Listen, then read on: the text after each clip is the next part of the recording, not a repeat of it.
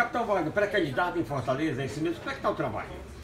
Trabalhando bastante, nosso mandato de deputado federal, a gente volta as atenções para o mandato. Em Brasília tem muita coisa importante para ser discutida, a reforma da Previdência, pacote anticrime do Ministério do Humor e vários outros assuntos. Então, o foco do mandato do trabalho está voltado para Brasília. O senhor vota pela reforma da Previdência do Bolsonaro? Do jeito que está, não. É muitos pontos negativos, a gente está discutindo logicamente da forma como foi apresentado, inclusive eu acho que é pior do que a do Temer por conta disso, do jeito que está, não vota a favor. O que é que está pegando nessa história? Ele tem muitos pontos, a questão da idade das mulheres, que é uma incoerência é, na questão da idade geral. Existe uma diferença, mas quando a gente vai para a idade dos regimes próprios, não há essa diferenciação. A questão do BPC também, que na minha visão foi um equívoco do governo, o próprio governo já está dizendo que quer voltar atrás.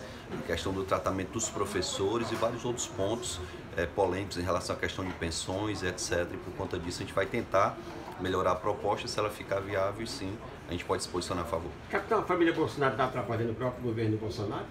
Olha, eu acho que, na verdade, o presidente tem que separar as questões familiares da gestão do país, que já é complexo demais para envolver qualquer questão familiar é, nos problemas. É, qualquer ingerência que venha por parte de familiares é prejudicial para a gestão, para o próprio presidente. Então, acredito que ele tem que separar a questão familiar da questão da gestão.